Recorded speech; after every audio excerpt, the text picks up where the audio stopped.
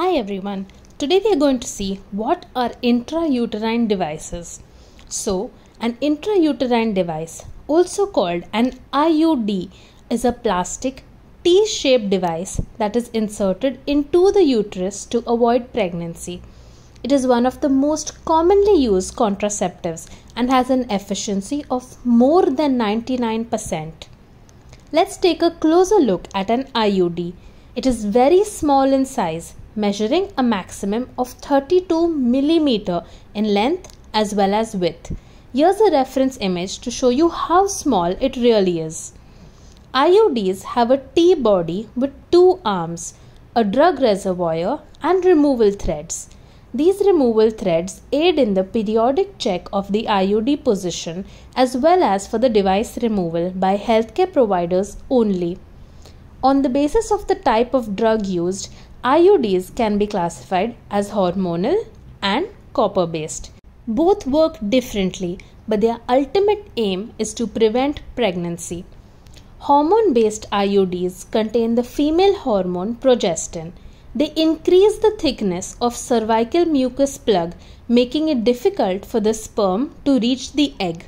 Additionally, they also make implantation difficult by thinning the uterine lining. They may also inhibit ovulation, similar to oral contraceptives. Copper based IUDs make the uterine environment unwelcoming for the sperm as well as weakens it. Copper primarily acts as a spermicide thus preventing pregnancy. How are IUDs inserted? IUDs should be inserted by a healthcare provider. The appointment is usually short and the actual procedure of insertion lasts only a few minutes. First, the doctor cleans the cervix with an antiseptic solution. Then, the provider will insert a tube containing the IUD in the uterus via the vagina. After this, the provider will push the IUD into the proper position inside the uterus with a plunger. The provider will then gently remove the covering tube and plunger to leave the IUD in place. The two strings of the IUD are positioned within the vagina but outside the cervix. As easy as this may sound, please note that IUDs can only be placed by licensed healthcare providers.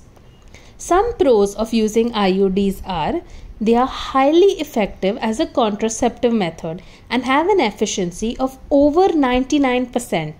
They are long term and can last for 3 to 12 years depending on the type and the brand. They are quite convenient as there is a minimal post insertion care involved. It is pretty cost effective even though the upfront cost of purchasing the IUD and getting it inserted might be a bit high. IUDs can be removed easily. This makes them a reversible contraceptive in case you decide to try to get pregnant.